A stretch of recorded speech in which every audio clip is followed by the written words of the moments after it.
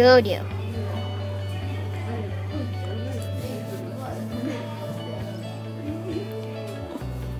Fakta om groddjur. Det finns 23 000 olika slags groddjur som man känner till. Men i Sverige finns det bara tre olika slags groddjur. Grodor, paddor och vattenödlor.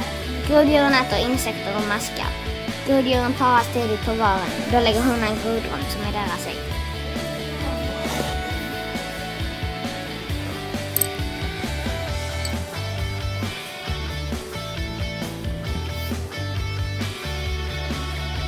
Groddrömmen flyttar upp till ytan och när rommen kläcks så kommer det ut små yngel. Ynglen växer och växer tills det blir groda.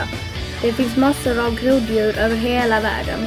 En groda kan vara upp till 30 cm lång eller mindre än 1 cm. Många grodor är helt ofarliga medan många andra är dödligt giftiga.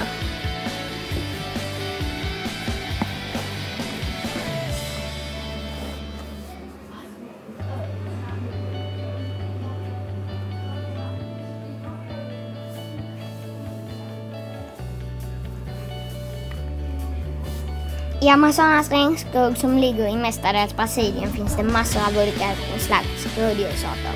Det finns pilgrimsgrodor till rödögda bladgrodor med mera. Groddjuren finns i massa olika färger, till exempel grön, röd, blå och lila. Om man rör en pilgrimsgroda så kan man bli kroniskt sjuk för deras skinn är giftigt.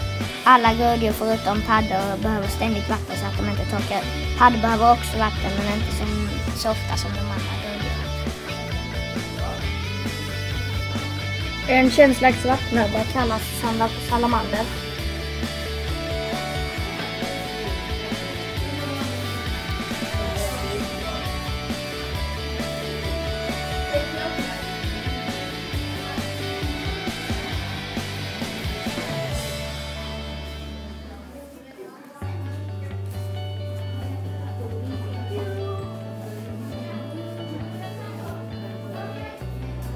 Pad- paddorna har torrare hud än resten av groddjuren. En konstig sak med paddorna är att de har giftiga mot hundar.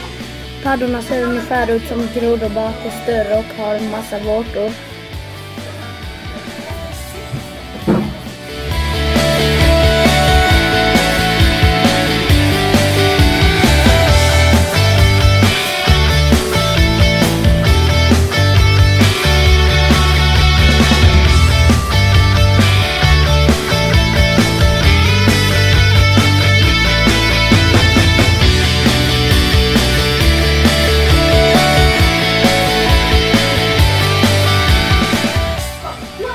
av William och Hammar.